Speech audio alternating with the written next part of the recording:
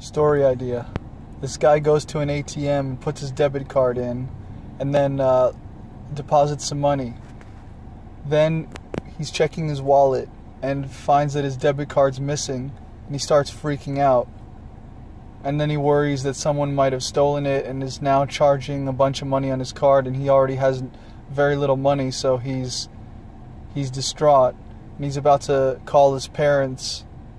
But then he realizes that his debit card was inside the ATM